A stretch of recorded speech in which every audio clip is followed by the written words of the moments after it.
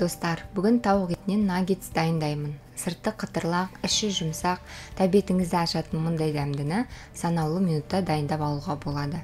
Тауықтың сүбе етін орташа бөліктерге бөліп тұз сарымсақ және паприканы сеуіп араластырамыз.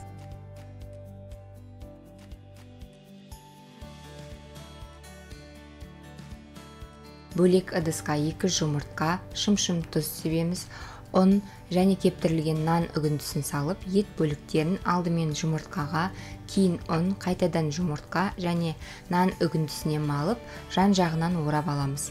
Етті қызып тұрған майда екі бетінен 2-3 минуттан қуырып аламыз. Артық майын сіңіріп алу үшін қағаз орамалға орналастырыңыз. Сонымен наггетс дайын астарыңыз дәмді болсын.